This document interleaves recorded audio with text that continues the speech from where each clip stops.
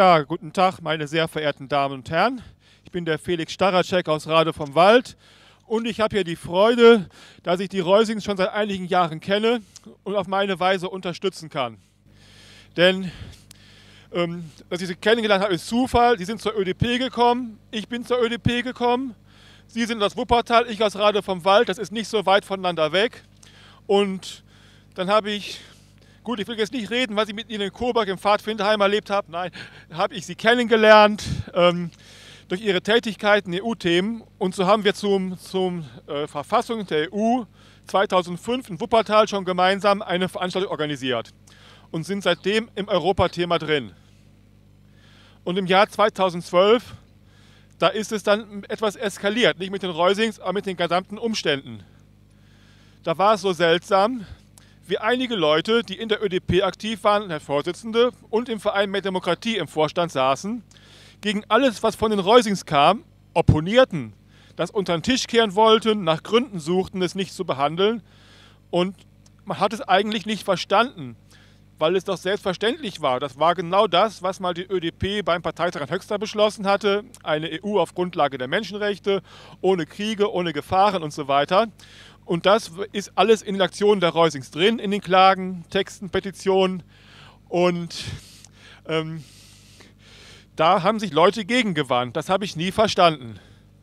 Und dann wurde aber in die ÖDP eine Aktion reingetragen mit dem Titel Volksentscheid, sonst klagen wir. Der ESM und Fiskalpakt, die sollten also, so habe ich das damals verstanden, einer Volksabstimmung unterzogen werden. Und nur wenn sie durch eine Volksabstimmung angenommen werden, dann ähm, muss man sie eben so hinnehmen. So ungefähr könnte es sein. Man hat immer noch gedacht, es ist nicht so optimal, aber es ist ein bisschen dagegen. Man hat sich damals dieser Klage auch angeschlossen. Und das haben gut 37.000 Leute getan. Beim ÖDP-Parteitag in Hanmünden wurde die Klage auch nicht vorgestellt, aber auf dem ganzen Parteitag lagen vom Bundesvorstand ausgelegt Teilnahmezettel für diese Klage und es wurde geworben, sie auszufüllen. Aber dann kam in Irland die Abstimmung über ESM und Fiskalpakt, glaube ich, war das auch. Oder war, das der Lissabon-Vertrag? War ein Lissabon-Vertrag Abstimmung und die wurde, da ist der Lissabon-Vertrag in der wiederholten Abstimmung, war die zweite, durchgekommen. Und da las ich eine ganz seltsame Pressemitteilung vom Verein Mehr Demokratie, Jetzt mal sieht doch, man kann ruhig Abstimmungen machen, die Leute stellen sich nicht in die EU-kritische Ecke. Und was ist schlimm? EU-kritisch zu sein. Wenn die EU in die falsche Richtung läuft, ja, es gibt, wenn man sich solche Verträge anschaut, aus meiner Sicht die Pflicht zur EU-Kritik, nicht um gegen die EU zu sein, sondern um eine EU zu schaffen, wie wir sie uns wünschen. Und dann so sagen, ja, um zu zeigen, wir stehen nicht in der EU-kritischen Ecke und auch andere Sätze waren so verharmlosend auf dem Vertrag von Lissabon, dass ich sehr misstrauisch wurde. Und dann kam die Nacht, wo die Klagen eingereicht wurden. Und in dieser Nacht, da wurde auch die Klage von Mehr Demokratie veröffentlicht. Und ich bin auf die Suche gegangen, habe mir das alles ausgedruckt und da habe ich eine Menge Sachen gelesen, was da alles Schlechtes drin steht. Aber sie kamen, hm, ja, ESM, hm, ESM, aber die kamen nicht zum Zuge. Und dann habe ich die Klage angefangen von hinten zu lesen. Ich habe mir gedacht, ähm, ich habe eine Erfahrung gemacht, wenn einem was komisch vorkommt, die Gemeinheiten sind meist nicht da, wo es für jeden sofort ersichtlich ist, sondern die Gemeinheiten sind am Ende. Und das war die Seite 102 von der ESM-Klage von Mehr Demokratie. Und da kann ich ja mal raus vorlesen. Der Weg für die Anrufung des Souverän eröffnet der Artikel 146 des Grundgesetzes. Wenn wesentliche Integrationsschritte nicht mehr mit den Befugnissen der verfassungsändernden Gesetzgebers getragen werden, dann hat der Pouvoir Constituant, in Klammern die verfassungsgebende Gewalt, das Volk, das deutsche Volk im Wege einer neuen Verfassung darüber zu befinden. Also einer neuen Verfassung wird auf einmal gesprochen und nicht einer Volksabstimmung über ESM und Fiskalpakt. Dies bedeutet nicht zwingend eine vollständige Ablösung des Grundgesetzes durch eine neue Verfassung, aber immerhin eine neue Verfassung. Vielmehr würde eine die hier in Frage stehenden Integrationsschritte rechtfertigende Verfassung auch dann gegeben, wenn das Grundgesetz um Bestimmungen ergänzt wird, die zum Eintritt in eine bundesstaatliche Fiskalunion ermächtigen. Der Hohe Senat wird ersucht, die dahingehende Verpflichtung der gesetzgebenden Körperschaften auszusprechen. Also die Klage, die verharmlost hier schon. Denn man kann nicht das Grundgesetz ändern, wie es hier so angedeutet wird. Ähm, also Grundgesetzbestimmungen ergänzt. Das heißt, klingt ja so, als das Grundgesetz erhalten bleibt. Nein, man braucht eine neue Verfassung. Denn wenn es keine neue Verfassung wäre, hätte der Bundestag das Recht, das Grundgesetz zu ändern heutzutage. Da braucht es keine Volksabstimmung und nichts, nur eine Zweidrittelmehrheit. Wenn es den Artikel 146 braucht, dies zu ändern, und diese Volksabstimmung, dann ist nur das betroffen, was die Ewigkeitsklausel angeht. Artikel 21 geschützt durch die Ewigkeitsklausel. Und dann wurde mir klar, mehr Demokratie, dieser Verein, der greift das Grundgesetz in seinem Fundament an. Und es geht hier weiter zum Verfahren. Nur auf diesem Weg kann demokratische Legitimation für die mit ESM und Fiskalvertrag und Artikel 136 Absatz 2 der allgemeinen EU-Union-Verfassungsvertrag oder so ähnlich einhergehenden Integrationsschritte für den Systemwechsel in die Wirtschafts- und Währungsunion und die Aufgabe staatlicher Souveränität in einem, wenn nicht dem zentralen Politikfeld der Union, vermittelt werden. Also Volksentscheid, sonst klagen wir. Es wurde immer so beworben, wie schlecht der ESM und Fiskalpakt ist, was da alles mies dran ist und jetzt soll es auf einmal vermittelt werden und demokratisch legitimiert werden. Ich bin da aus allen Wolken gefallen. Das passt zu keinem Beschluss, den wir in der ÖDP hatten. Das ist konträr, fällt das den Reusings mit ihren Aktionen in den Rücken. Diese Aktion zieht die Medien auf sich, lenkt alle Leute von den tiefergehenden anderen Klagen ab und da war mein Ziel Nummer eins, meine politische Heimat zu retten. Ja, die ÖDP, dass sie sich hinter das Grundgesetz stellt wie in früheren Jahren und damit inbegriffen das auch gleichwertige Ziel, das höhere Ziel im Grunde, das Grundgesetz zu retten vor dieser Aktion. Und in dem Zusammenhang habe ich mich in Briefen an die ÖDP gewandt, an, an Leute. Ich habe Texte geschrieben, die auch manchmal in Zeitungen veröffentlicht wurden. Und ich habe einen öffentlichen Austritt aus der Verfassungsbeschwerde von Mehr Demokratie geschrieben. Auch an den Verein Mehr Demokratie.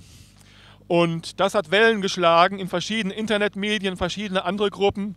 Bei mir lief das Telefon manchmal auch heiß, dass Leute anrufen, danke, dass sie, unter, dass sie das mitgeteilt haben. Ich hätte es beinahe auch unterschrieben.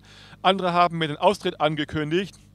Und ich habe auf, da auf jeden Fall dann eben meinen Teil dazu beigetragen, dafür zu werben, dass die Reusis Unterstützung kriegen und dass diese Grundgesetzgefährdung publik wird. Und als dann die Klage entschieden wurde in Karlsruhe, hat auch Stefan Detjens von Deutschlandfunk diese Erkenntnis gehabt. Er sagte jetzt sinngemäß, die Verfassungsrichter haben viel schwächer geurteilt, als sie es hätten tun müssen. Denn hätten sie so geurteilt, wie es ihre früheren Klagen nahegelegt haben, dann hätten sie da einiges verhindern müssen, aber dann hätte die politische Mehrheiten im Bundestag und politische Strömungen alles getan, das Grundgesetz durch eine neue Verfassung abzulösen. Und um das Grundgesetz zu retten, so saß der Deutschlandfunk-Kommentator Detjens, musste sich das Verfassungsgericht bescheiden, um diesen strategischen Schachzug durchzuführen. Und so war es dann auch, als die Klage eingereicht war und mehr Demokratie mit seiner Aktion publik, na, viel Öffentlichkeit bekam, da erschien im Spiegel das große Interview mit Wolfgang Schäuble. Und er äußerte dann, ja, ich war bisher nie für Volksentscheide, aber jetzt könnte es viel schneller kommen, als ich bisher gedacht hatte, dass wir sie doch durchführen. Und einige Zeit später zitierte die Rheinische Post aus Düsseldorf, ja, per Steinbrück, mit einem Bündnis aus Wirtschaft, Medien, Politik und Wissenschaft wird es uns gelingen, Europa als die Antwort auf unsere Fragen oder Krisen den Leuten zu vermitteln. So viel zu freien Medien, freier Wissenschaft. Mit diesem Bündnis wollte er es machen. Und auch gut ein Dreivierteljahr später ging Steinbrück nochmal hin. Wir brauchen eine Volksabstimmung zur Änderung des Grundgesetzes, um einige Sachen durchzusetzen. Und damit Änderung des Grundgesetzes gibt es nicht per Volksabstimmung. Das macht der Bundestag, wenn es zulässig ist. Und das andere ist eine neu gefasste Verfassung. Und meine ganzen Texte stehen im Internet, mein Parteiausschluss steht im Internet, die ganzen anderen Sachen. Von den Reusings steht der Text Sturmangriff äh, auf, auf das Grundgesetz im Namen der Mensch. Ne, Sturmangriff auf, wie war das? Ich muss überlegen. Es fängt mit Sturmangriff auf unser Grundgesetz und Menschenrechte im Namen von mehr Demokratie. So war der Titel, glaube ich. Da ist auch ein umfassender Artikel auf meinem Blog, Vier-Türme-Blog oder unser Politik-Blog. Da sind die ganzen Zusammenhänge erläutert. Da sind die ganzen Sachen, die mehr Demokratie nicht erlässt. Und vielleicht nochmal interessant, welche Einsichten mehr Demokratie hatte, die längst nicht alles umfassten, was die Reusings hatten, aber dass ähm, die schon wussten, was sie alles, was sie, was sie da demokratisch zu legitimieren drohen. Ich muss das mal eben gucken. Also in einem Brief, der ÖDP-Briefbeilag, steht drin, Parlamente werden entmachtet.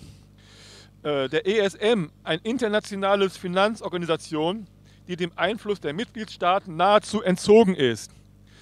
Der ESM ist keiner anderen Organisation rechenschaftspflichtig und genießt weitgehende gerichtliche Immunität. Der Fiskalpakt ermöglicht den europäischen Institutionen weitgehende äh, Kontrolle bei den Haushaltsplanungen der Mitgliedstaaten. Eine Kündigung sei einem einzelnen Staat nicht möglich. Die Anteile von zahlungsunfähigen Ländern müssen die verbleibenden zahlungsfähigen Länder übernehmen. Also das hat mehr Demokratie alles erkannt und einen Weg gewiesen, wie man das demokratisch legitimieren kann. Ich bin eigentlich verkehrspolitisch eher aktiv und sonst was. Und dadurch, dass ich die Reusings kennengelernt habe, bin ich auch in dieses Thema reingewachsen. Und ich verstehe politisch auch synergetisch, dass keiner kann alles machen. Und wenn aber jemand einen Bereich gut macht, dann müssen die anderen ihn stützen und fördern. Das hat der damalige Bundesvorstand der ÖDP leider nicht geschafft. Der hat auf Gegenkurs geschaltet. Und ich habe erkannt, was hier läuft und habe das, was mir möglich ist, getan, das zu fördern. Es hat einige Medienwellen geschlagen. Es hat viele Leute aufgeklärt und somit von den Reusings angestoßen. Es wäre nie auf meinen Mist gewachsen, das muss ich so sagen. Die Ehre für die Auslösung gebührt den Reusings.